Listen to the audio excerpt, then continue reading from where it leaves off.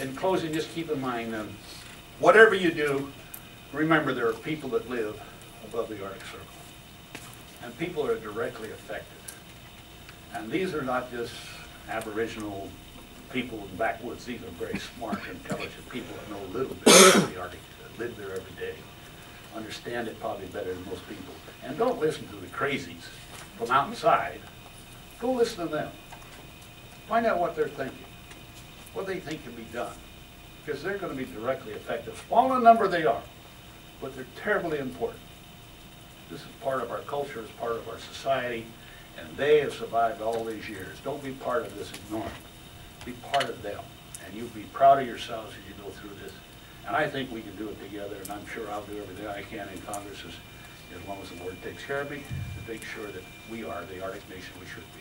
Thank you very much. God bless you.